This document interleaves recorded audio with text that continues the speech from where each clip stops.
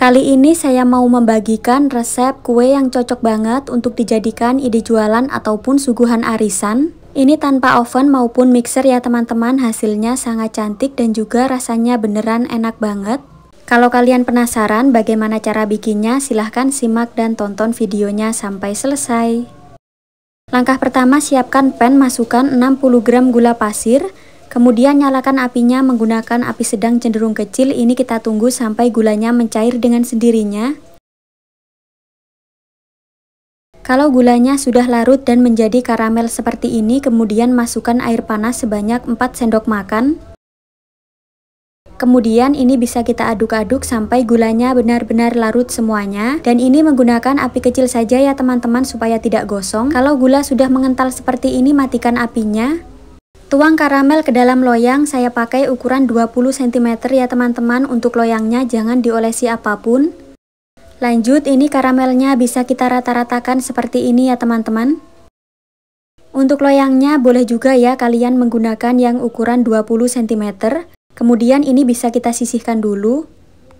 Siapkan 4 lembar roti tawar seperti ini, kemudian ini akan saya sisihkan bagian kulitnya ya teman-teman.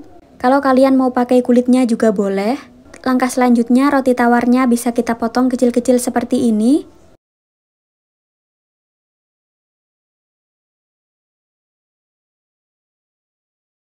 Lalu roti tawarnya bisa kita pindahkan ke dalam mangkuk. Siapkan 400 ml susu cair, saya pakai susu UHT full cream, kemudian bisa kita tuang di atas permukaan rotinya tadi. Ini kita tunggu sampai rotinya lunak dengan sendirinya.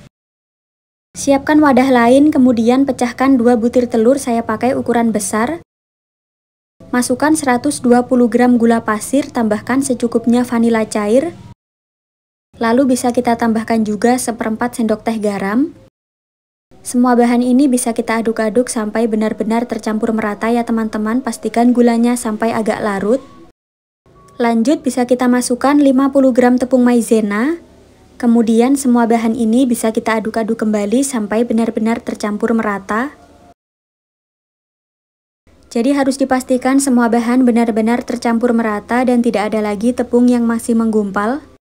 Roti tawar yang sudah kita rendam susu tadi sudah siap untuk kita aduk-aduk ya teman-teman. Ini rotinya sudah menjadi lebih lembut dan lunak. Untuk rotinya bisa kita bejek-bejek saja seperti ini, tidak perlu sampai benar-benar halus. Kemudian adonan telurnya tadi bisa kita tuang ya.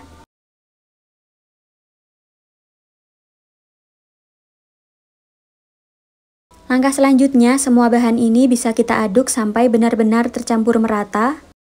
Jadi untuk hasil akhir adonannya memang encer seperti ini. Pastikan semua bahan sudah benar-benar tercampur dengan baik, selanjutnya bisa kita tuang ke loyang. Jadi ini kita tuang semua adonannya.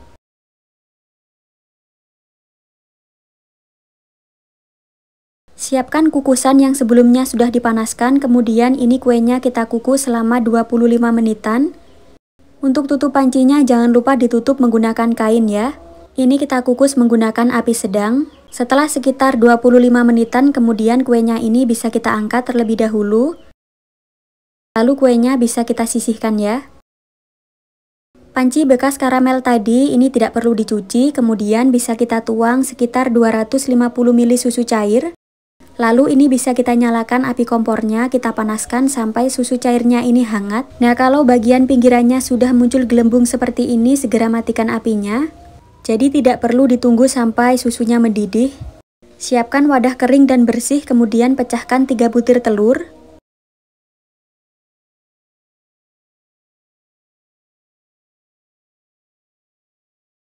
Masukkan 150 gram gula pasir, tambahkan secukupnya vanila cair. Semua bahan ini bisa kita aduk-aduk aja, jadi tidak perlu di mixer ya teman-teman. Ini kita aduk-aduk sekitar 2-3 menitan saja. Kalau sudah tercampur merata seperti ini, tambahkan bahan selanjutnya. Ini saya masukkan 100 gram tepung terigu, jangan lupa diayak terlebih dahulu. Lanjut, bahan selanjutnya kita masukkan 35 gram coklat bubuk. Untuk hasil yang terbaik sebaiknya menggunakan uh, coklat bubuk yang berkualitas ya teman-teman supaya rasanya nanti lebih enak ya. Bahan selanjutnya masukkan soda kue, jadi ini saya pakai tidak sampai 1 sendok teh ya. Soda kuenya jangan lupa diayak terlebih dahulu. Penggunaan soda kue ini tidak boleh di skip, jadi supaya nanti kuenya bisa mengembang. Semua bahan ini bisa kita aduk-aduk sampai benar-benar tercampur merata. Kalau adonannya sudah tercampur seperti ini, kemudian kita masukkan susu kental manis putih. Bisa juga pakai yang coklat ya, saya pakai satu bungkus. Kita aduk-aduk kembali semua bahan sampai tercampur merata. Lanjut bisa kita tuang susu hangat, ini kita tuang semuanya ya teman-teman. Selanjutnya bisa kita aduk-aduk semua bahan ini sampai tercampur merata. Untuk susu cairnya ini tidak panas ya teman-teman, ini hangat-hangat kuku. Kalau semua bahan sudah tercampur merata seperti ini, kemudian kita tuang minyak sayur, saya pakai 120 ml.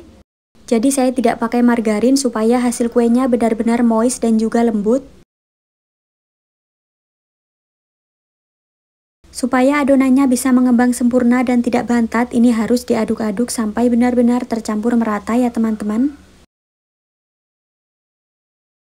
Hasil akhir adonannya memang encer seperti ini. Langkah selanjutnya adonannya bisa kita tuang. Kita tuang semua adonannya ya teman-teman. Ini bagian atasnya saya beri aluminium foil seperti ini ya teman-teman, tapi pada tahap ini bisa di skip ya. Tujuan penggunaan aluminium foil ini supaya nanti uap panasnya tidak menetes. Siapkan kukusan yang sebelumnya sudah dipanaskan. Kita kukus kuenya selama satu jam ya atau sampai benar-benar matang. Setelah sekitar 50 menit sampai 1 jam ini kuenya sudah matang dan sudah mengembang seperti ini ya hasilnya. Oh iya, sekali lagi untuk penggunaan aluminium foil ini tidak wajib. Hasil kuenya mengembang dan cantik banget ya teman-teman. Ini kita tunggu sampai benar-benar dingin. Kemudian kuenya bisa kita angkat dari kukusan. Ini kuenya sudah benar-benar dingin, kemudian bisa kita keluarkan dari loyangnya. Caranya kita sisir bagian pinggirannya terlebih dahulu menggunakan pisau tipis ya. Jadi cara mengeluarkan dari loyangnya ini sangat gampang ya teman-teman meskipun tadi tidak diberi olesan apa pun.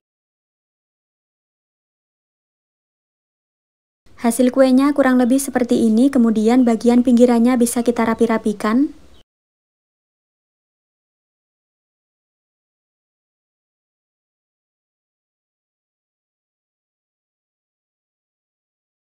Lanjut, kuenya ini bisa kita potong-potong sesuai selera. Meskipun tanpa mixer, tapi kuenya beneran super lembut dan juga empuk banget.